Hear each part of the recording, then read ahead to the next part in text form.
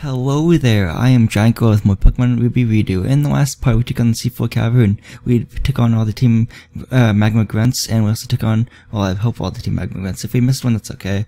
We also took on Team Magma Admin Courtney for the second time. Second time, uh, first time being the Weather Institute at the second floor is where we battled her first. And then, uh, we also battled Maxie, uh, and Maxie is, well, Maxie's blue that he had shined automatically, and it made Groudon go to the Cave of Origin, which is here in Sootopolis City. We also made it to Sootopolis City by diving underground and finding it and raising the surface at the correct place.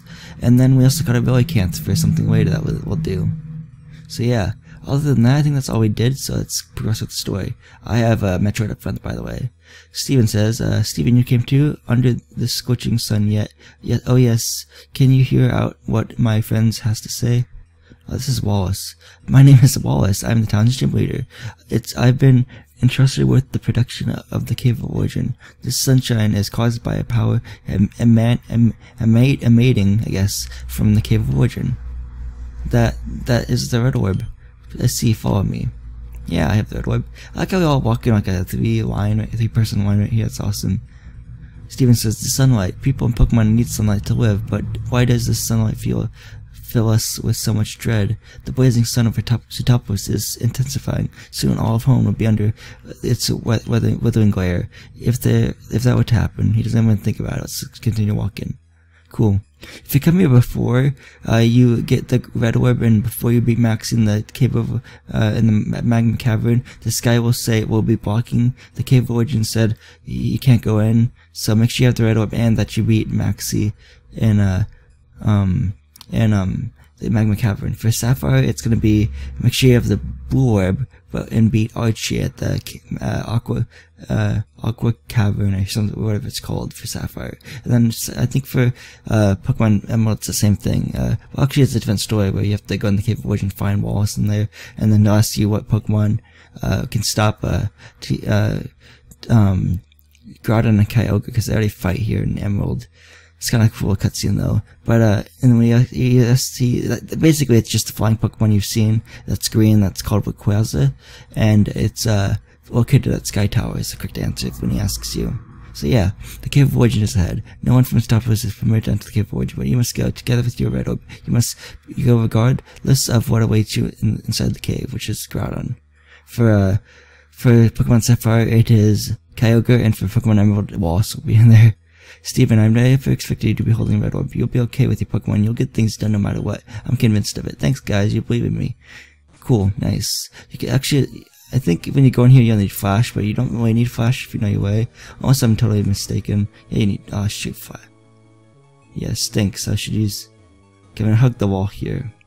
I need to find an HM too here. Well, the room that got on it is not, um, not like the pitch black or almost completely dark, so that's good. Hug the walls here. Yeah, I make sure I get the HM07 waterfall here. So yeah. Ah uh, man, that stupid shaking noise, that's probably really scary actually. So I think the HM07 waterfall is in here. So if go the way I'm going, should be able to make it. Um, yeah, there's another shaky shaky. Ah, oh, dang it. I didn't know I didn't have a repel on, jeez. Let's go use our max repels. I start to use our max repels now, nice. Okay, I'm gonna I'm trying to find the HM for waterfall though. I want I don't want to miss it, you know.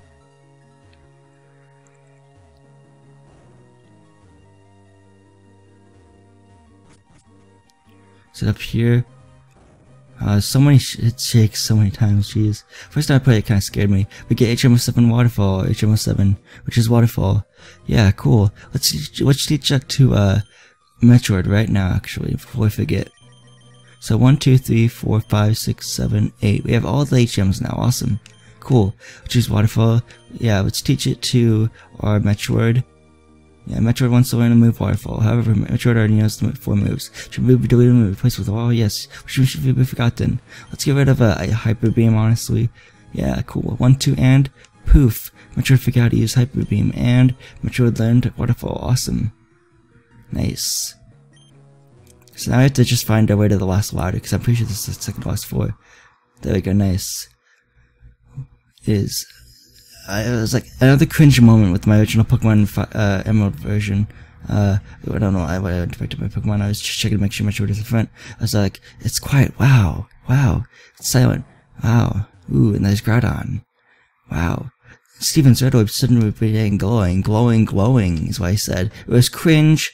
It was cringe. I'm sorry. I had to say that in my commentary. I was 13. I'm sorry. So yeah, red orb uh, suddenly being glowing. Awesome. And Groudon's going towards us. You know, I should have saved, but then again, if I have a failed recording, I don't know. I should have made a save. I should have made a. I should have made a. Um. I should have made a. Uh, save state though. Shoot, to save that way.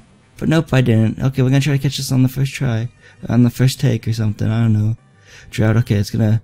That's gonna lower the power of. Uh, you know, um, water moves, but not ice type moves. That's good. I'm gonna try to freeze this thing. Groudon's level 40, 45. So yeah. I think his moves are Fire Blast, Bulk Up, um, Earthquake, and and uh, Slash is what I think that's his move set. So yeah, this thing's two levels higher than Metroid. That's cool. Yeah, nice. I can't believe they get this on the first take or if they restart the whole recording because can't save. Jeez, while we're in battle or anything, you know? Okay, there we go. Freeze freeze it. Nope, of course not. If it gets too many bulk ups, that could be a bad thing. You know, honestly. Yeah, sunlight is still strong. Cool. Sunlight is still is strong. Okay, cool. Good for the sunlight. Let's go for the um, Ultra Balls now. I don't want to use my Master Ball on this thing.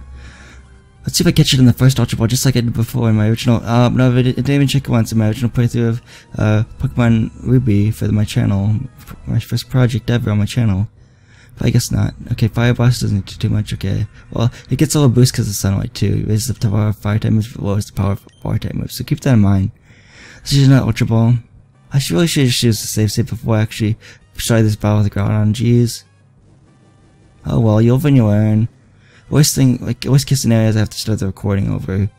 So, I don't know. Okay, use an Ultra Ball, nice. Oh shoot.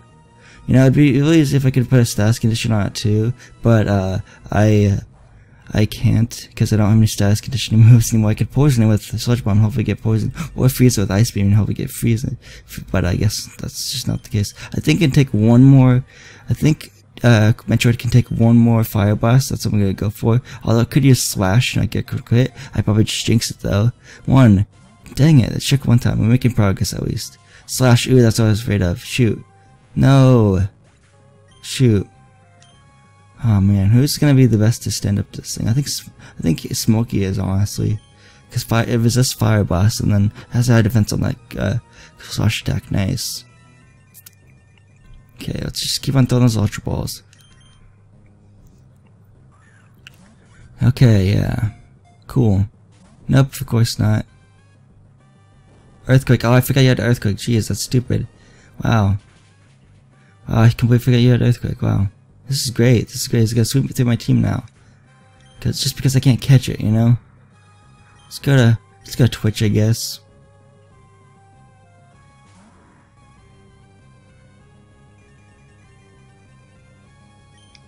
All because I didn't do a save state before the battle. Wow, that's a big mistake on my part once we catch this thing. One. Oh my gosh.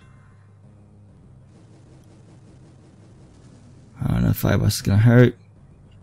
I'm sorry, Twitch. You're gonna become barbecue. That's actually kind of deep. That's kind of dark, actually. okay. Yet I'm laughing at it. Jeez. Oh well. Come on. One, two, three. We caught it. Awesome. We got on our first take, and I didn't. I'm not regretting this because we actually caught it, and I don't have to do another take. I don't have to restart the recording or anything. That's awesome. Gotcha. Groudon was caught. Groudon saves out of the Pokedex. Awesome. That wasn't too hard, actually.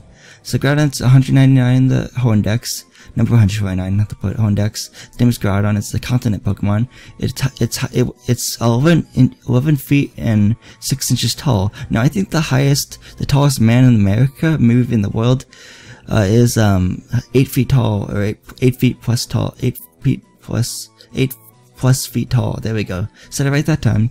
It weighs 2,940, 900, it weighs 2,094.4 pounds. Its footprint looks like a, looks like a bear. Oh, not really. It's just like a normal footprint for the ground, I guess. So yeah, that's if you thought you know that Snorlax weighs 1,014 pounds, I think you know Groudon almost weighs double that. Jeez, Groudon has long described has been Groudon has long been described in mythology as the Pokemon that raised lands and expanded continents. This Pokemon took a sleep after a catastrophic uh, cataclysmic um, battle with Kyogre. I probably pronounced that word right. Correct. I probably pronounced that word wrong, but that's okay. Giving on to Groudon. Sure, let's name this guy Let's name this guy Big Red. Because uh, we named our railroad Big Blue, I guess. So let's name it Big Red. Nickname it Big Red. Big Red. Big Red, nice. Big Red was sent to the PC. Cool. So let's go to the Pokemon. Let's go to the. Um, I'm probably gonna use escape rope. Honestly, I'm too lazy to go all the way back out. So yeah, I'm gonna look it up on the PC real quick. So let's see here. Um, uh, there's escape rope awesome. I was like, I was like, I know I have escape ropes in here somewhere. So even use the escape rope. Nice. Cool. And the little, the woman right here that was standing right here and here were, are gone now. And that's the guy right here who's boxed away in case you um didn't come here with the red orb or you haven't come here with uh, beating Maxie at the magma cavern or Archie from the magma ca- from the aqua cavern. Whatever it's called in Sapphire, the aqua cavern is what I'm guessing.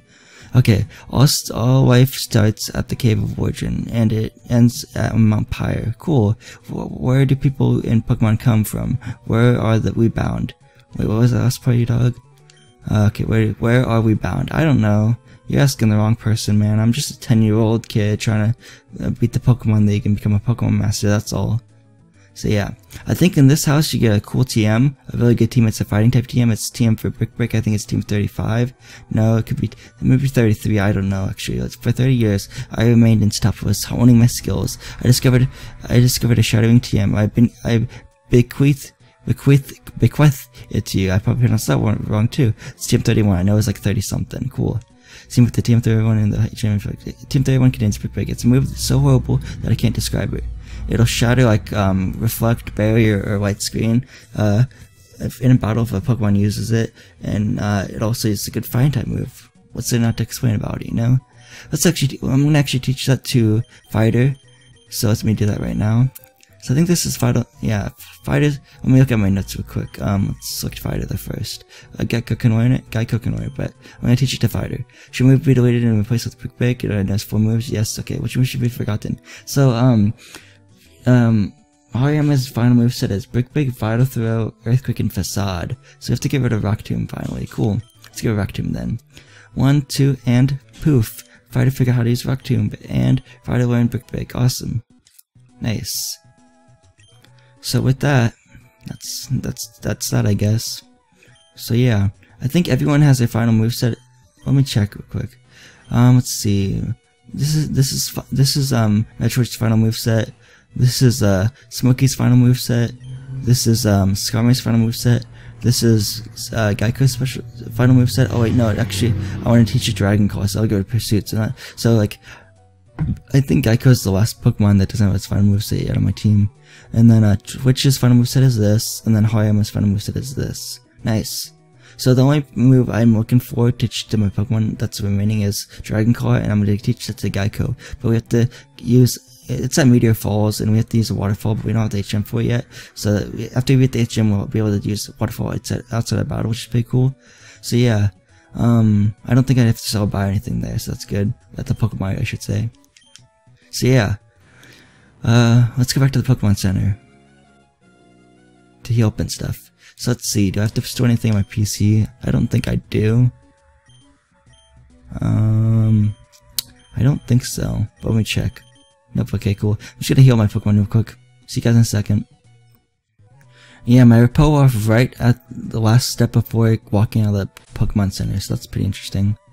Um, who, okay. Um, I think I'll, I don't think I have to do any off-screen training for now, so that's good. Let's go switch to, uh, Geico first, because this is a water-type gym coming up, our final gym actually, the widow was, uh, Wallace, and Emerald, it is, uh, Juan though, and Wallace is actually the champion in Pokemon Emerald. for the Pokemon League champion. Yeah. Then Geico because uh, not Geico but Twitch because Twitch has uh, Shockwave, and then uh, probably um, Screaming next. Well, no, actually, a Metroid probably next because well, Scream with a Metroid and then Fighter and then Smoky. I'm go- I'm putting in the order of uh of um you know, resistance towards water. So like Geico is really good against water type Pokemon, then Twitch is, then Screamo is, then Metroid is, then Fighter is, and then Smoky's weak to uh, water type moves, so it's at, obviously at the bottom of the list right now. So yeah, I don't think I have to put a repel on because I don't think I run into Pokemon, but you never know. Of course I do! I knew that was probably gonna happen. I probably jinxed it. Anyway, that was a level 28 Magikarp for his male, so that's pretty cool. Here's Steven Stone again, he's in front of the gym. Steven, we owe it all to you. The sky above Sootopolis has returned to normal. For that, Wallace sends his thanks to. And that same Wallace is waiting for you inside. He's strong, but but but the way you are now, you should be in equal footing with him. Get, give it your best shot. And he flies off in a sky there. Right, awesome. So let's talk to the sign, I guess. Super City Pokemon Gym Leader Wallace. Um, assist artist and lover artist and lover of the water. So yeah, I'm gonna cut the part off right here because I'm already at 17 minutes of recording time. I kind of want to do the gym in its own separate part for once because I always do extra stuff after the gym before the gym challenges. But yeah, so if you look at our Pokemon trainer card, we have 7 gym badges now. Our playtime is 51 hours and 56 minutes. Wow. So technically, we've only been on a journey for a little bit over 2 days if you think about it because 48 hours, because two a days is 48 hours, and then we're, we're almost at 52 hours, so we've been on our, on our journey for two days and four hours, so technically we've got seven gym badges, caught Groudon, beat, beat Team Magma completely, pretty much, and I think we did actually, yeah. Um, if you go back to Mount Pyre, you can return the orb, so you don't have to really, the red orb, but then Max, you also return the blue orb, because you'll see him there. So that's pretty cool. I'm might show that actually. So yeah, we've been on a journey for just a little bit over two days, two days and four hours almost. And we've got seven gym badges. We caught the legendary Pokemon of the ancient uh, myth and uh, history and stuff and all that good stuff. We got 180, we got 118,713 Pokedollars. Uh, We've caught 26 Pokemon in our Pokedex, or including evolutions, I guess, in that case. Our name is Steven. Our ID number is again 01253. I think I said that to be in the game when we started this project and playthrough. So yeah, and I also have Geico up front if you didn't forget, if you forgot. So yeah. So yeah, in the next part, I take on the Sootopolis gym and hopefully make our way, do some side quests, I guess. Um, like, for one, we can go back to Meteor Falls, use Waterfall to get the badge, the rain badge, I believe, from Wallace is what it's called.